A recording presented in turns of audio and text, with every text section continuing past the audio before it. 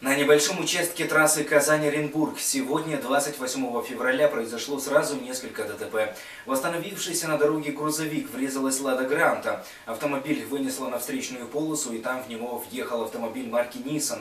В условиях сильного тумана и гололеда эта авария была вне зоны видимости других водителей, проезжающих по дороге в этот момент. Случилось второе массовое ДТП. Машины сталкивались одна за другой в одну кучу, словно в голливудских фильмах.